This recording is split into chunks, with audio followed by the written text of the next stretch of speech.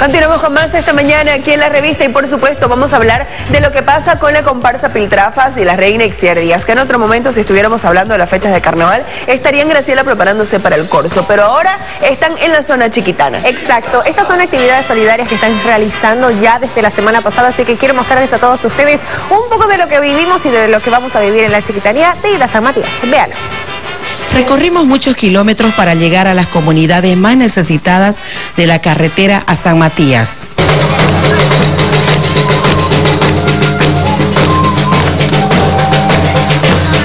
con mucha alegría para nosotros por acá porque es la primera vez que nos visita una reina. para nosotros usted para que ella pueda degustar.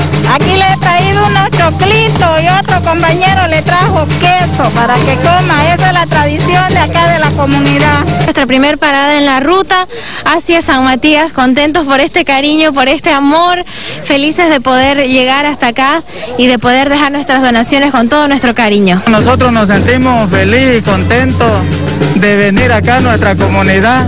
Estamos aquí a los 60 kilómetros camino a San Matías.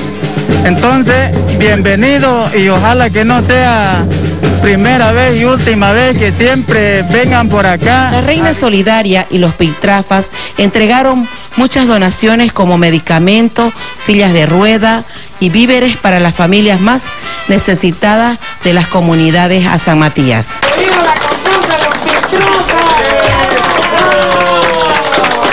¡Viva la reina Isier! Bueno, yo sé que ella es bien solidaria.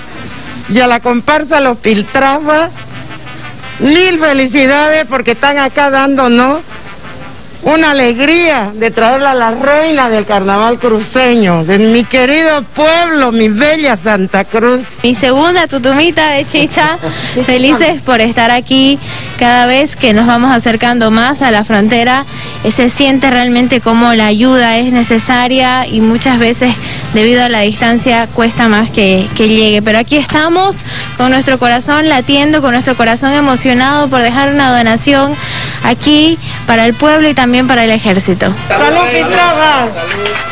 Qué bonito que pueden realizar actividades como estas y visitar lugares como San Vicente de la Frontera, comunidades que son muy pequeñitas y que están bastante alejadas de la ciudad capital Graciela y entonces no se conocen mucho, no se visitan mucho y hay gente que tiene muchas necesidades. Exacto, pero así como estamos viendo las imágenes también, la reina de este carnaval solidario llega con toda la energía, con toda la alegría del mundo para ser recibida de esta manera. Así que las donaciones se están realizando también, eh, mucha gente lo está dejando aquí mismo en la ciudad, en el lugar de acopio, así que es importante que sigamos sigamos aportando, sigamos ayudando para que ellos puedan seguir el recorrido y así seguir ayudando a las personas que también lo necesitan. Exactamente, el destino final de esta caravana de los Piltrafas y la Reina Solidaria de Cier Díaz es San Matías y en el retorno también va a estar visitando otras comunidades de la zona chiquitana, así que Unitel la va a estar acompañando para que también todo Santa Cruz y Bolivia conozcan las actividades del Carnaval Solidario.